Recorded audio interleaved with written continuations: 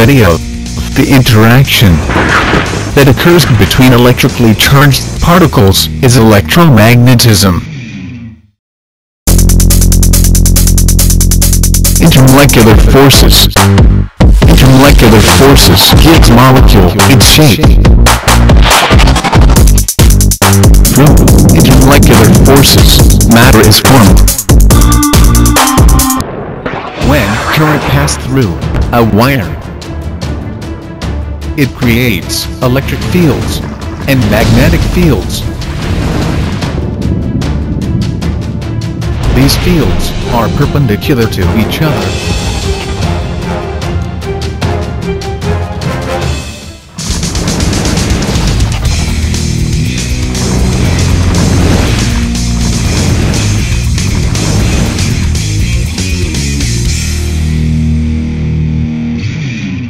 Production of electromotive force when exposed to a magnetic field.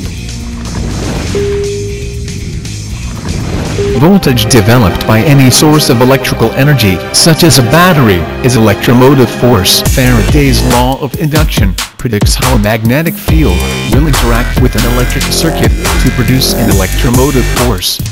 Lenz's law describes how electromagnetic circuits obey Newton's third law and the conservation of energy. How electric fields are generated, how magnetic fields are generated, and how they are altered by each other.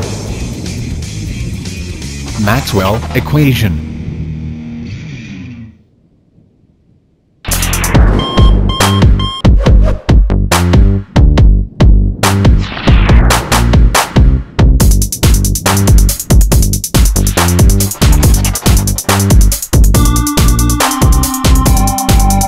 A dielectric material is an electrical insulator that can polarized by an applied electric field. When a dielectric is placed in an electric field, electric charges do not flow through the material, as they do in a conductor, but only slightly shift from their average equilibrium positions causing dielectric polarization.